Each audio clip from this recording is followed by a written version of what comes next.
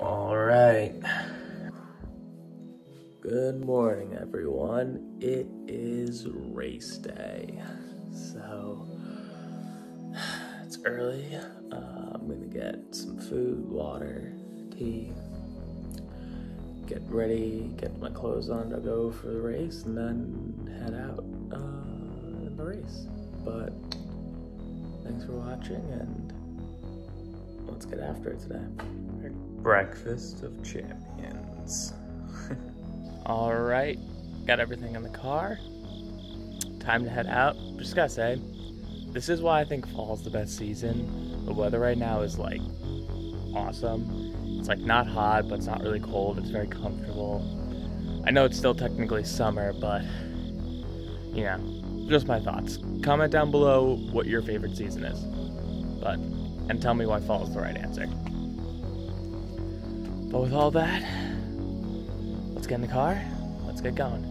Wear your bike helmet at all times when on bike. right, And so I'm here. Just set up be strapped on. my bike and everything in the transition area. So I am going to throw my shoes on and get started on a warm up, and then we'll get ready. I'm going to hand the camera off eventually to one of my friends, and let's get after it.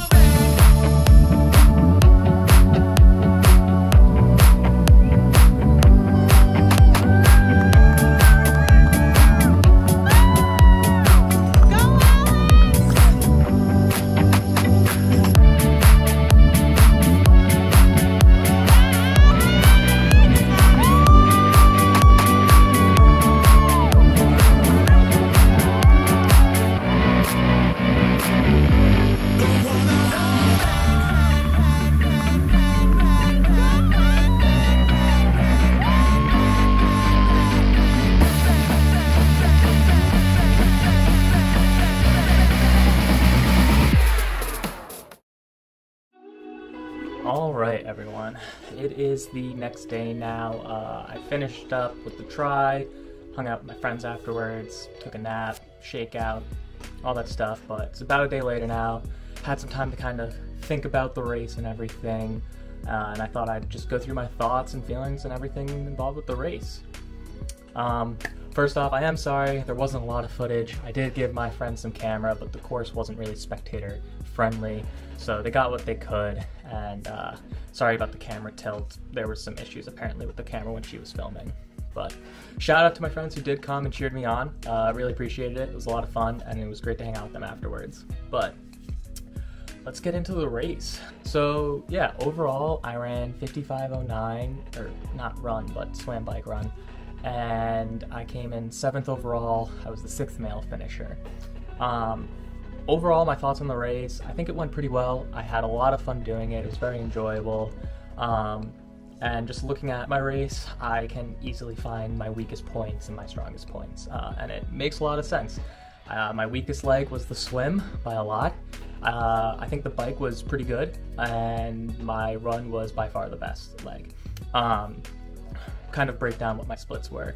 The swim I came through for the half mile swim was 16:25. Then I had an 81 second transition to the bike. Then my bike, which was 12 kilometers, I did in 2058. Came through with a 65 second transition to the run, and then my 5K split was 15:19. So, as you can kind of see, the swim was the weakest part. Um, bike was pretty good, and the run was. I'm very happy with the run. It was a pretty hilly course, so a low 15 minute 5K, I'm pretty good with. Um, with the swim, uh, one of the big issues was I kept kind of turning right. Uh, I would keep spotting for the buoys, and every time I would look up, I would find that I was getting to the right of the buoy and I needed to stay to the left. So I was a bit surprised by that. I guess it means my left arm or my left stroke is stronger than my right, which is kind of unexpected since I am right-handed and right dominant in almost everything I do, uh, except for I guess swimming might be one of those things. Who knows? But I mean, I'm very new to the swimming. Uh, I don't have a coach for swimming. I just kind of swim and make do with what I can. So I'm kind of hoping in the future I can get a lot better at that because I think the guy who won ran 50 and change, so he was about five minutes ahead of me, and his swim was 11 and change, so he was almost exactly five minutes ahead of me in the swim. Um, and then, so if I can make up most of that time, you know, I can close that gap pretty effectively, and I think there's a lot of room for improvement with the swim, which I think is really exciting. Um, overall, the transitions went okay. Uh, I think they went as well as they could have. Um, still got to practice that stuff. I don't have the best setup for transitions. Like my biking cleats are not like easy to just put on and get on. Uh, they have a couple straps to get them going. Uh, but yeah, I mean, overall, the transitions didn't go bad, but they didn't go great. And then the bike, I think, went really well. So once I got on the bike, I did nothing but pass people the whole time, which I think was really good for me. It helped motivate me, helped keep me just like grinding away on the bike. Um, I can't really pinpoint anything on the bike that went poorly. Um, I think just a standard improvement in my biking ability is the only thing I could really do.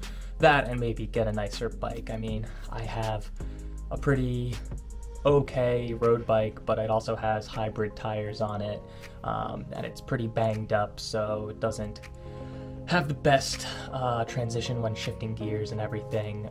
Because uh, I did crash it uh, four years ago now, and it kind of bent some things, but it gets the job done. I'm happy with it, and I'm not in the market for getting a fancy thousand, two thousand dollar bike. Um, compared to the guys who are ahead of me who had you know some pretty nice bikes. But overall, I think the bike went pretty well. Um, coming into the bike transition, I wanted to try and get my feet out of my cleats while they were still clipped in, so I could just hop off the bike and run barefoot to the area, uh, run barefoot through the transition area. But I ended up not being able to. Ran a little bit short on time, so I just unclipped, ran in the cleats, which isn't ideal because they're kind of hard to run in, especially on the concrete, and especially when that concrete's a little wet because it was drizzling. But got the shoes on and took off pretty quickly out of the gates and just was same sort of deal with the bike, trying to pass as many people as possible on the run. And I knew the run was my strongest uh, discipline, so I was just trying to grind away as hard as I could. Um, ended up with a uh, like pretty solid 5k split. I averaged about five flat pace for it, um, and I was passing a lot of people, and I felt really strong doing it. Um, in all honesty, I think the run, I mean, the run was definitely the best, but I think in all honesty, when I look at each area of this tri, I think I could have kept going at very similar, if not the same, or slightly slower paces if this was, per se, an Olympic distance. Um, obviously, that might change when I, if I try my hand at that, but I felt really good throughout the whole thing, and I never felt like I was redlining. And by the time I finished, I was pretty comfortable at the end. You know, I wasn't gassing for air. I was pretty comfortable and, um, you know, not too tired, I would say. Obviously, I was tired later on, but I'm gonna chalk it up to just doing the race, because that is tiring, and also waking up at 4.40 in the morning. Um, but yeah, and then that was kind of it. Uh, I talked with uh, some of the guys who were ahead of me, uh, the guys who went one, two, three. They actually complimented me on my run part of the race, so I was pretty happy with that. Uh, it was nice chatting with them. But overall, I had a lot of fun doing this, and I definitely want to try and do another triathlon or more triathlons in the future. So definitely looking forward to that, and I feel like there's a lot of room for me to improve in the biking and swimming disciplines. So I'm really excited to see how all that happens and how all that goes. Um, but yeah, I mean, in terms of today, I was definitely sore. Legs are tired, but the big killer is that my upper body is sore, which I'm not used to after a race being a runner.